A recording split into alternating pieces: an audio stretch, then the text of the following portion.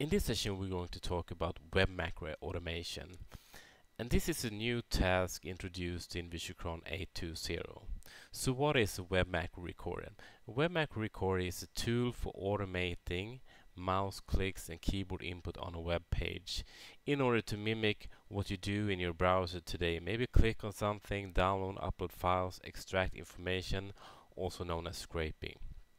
So the reason why this this kind of web macro recording have become more and more popular are that more services are moving to the web and cloud and instead of creating multiple interfaces like a Windows client, uh, APIs, uh, the, the focus now is on web applications that will work on your desktop browser and on your cell phone.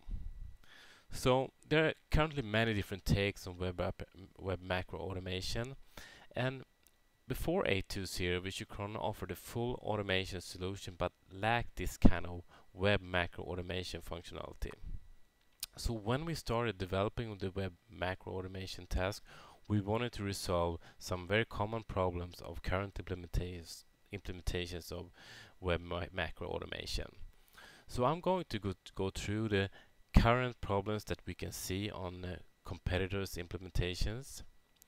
So first off, uh, is a full automation suite, and there are many tools today for web web macro automation that just do the web part. So once you have done that, you cannot do anything else, like FTP upload and stuff like that.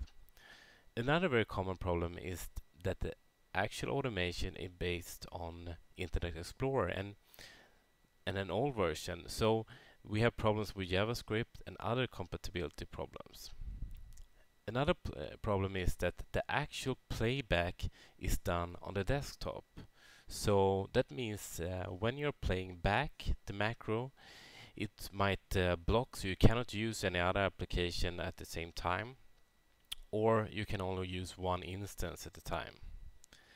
And security is another problem because it might not be integrated properly so passwords are shown in clear text etc or not stored uh, in, in an encrypted format. And another problem is that when these type of web macro automation solutions are not built for handling data and files dynamically. So for example you need to hardcode static files and upload uh, for upload or download and another problem is that you, it's no proxy support and there's no support for client certificates and no incognito support and you may not be able to upload or download files. So let's go through the VisualCron implementation. So VisualCron is a full automation suite and because of that you're able to pass data between tasks and that means for you can pass information you can do something before and then you use the value from that somewhere into the web automation. So you're able to pass data back and forth between tasks. And we are basing our web automation on Chrome the latest version of Chrome so it's fast secure and compatible.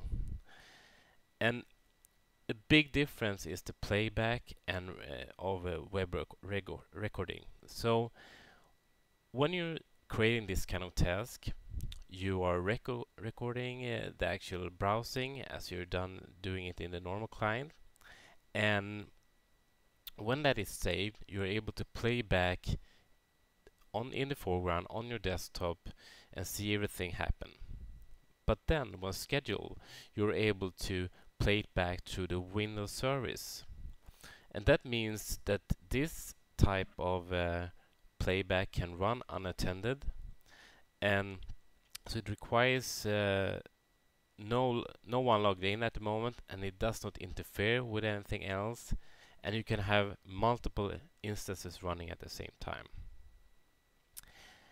Another thing in VisualCron is that all passwords are stored in encrypted format so uh, you can do everything securely and we can handle multiple instances at the same time uh, different tabs like a normal browsers and copy information between tabs. and we worked hard to implement upload and download of files and it's not just uh, a link to a static file but you can also uh, do something uh, dynamically with variables so it could be based for example when you download you want to rename the file to include a certain the current date for example or when you upload you want to upload the the newest five files only and this kind of um, variable implementations and dynamic solutions uh, you can do with the upload and download task at the moment. We are supporting client certificates, so uh, if they are requested, uh, they will be presented. And um, you're able to, when you're using the tabs as well, you're able to have an incognito mode.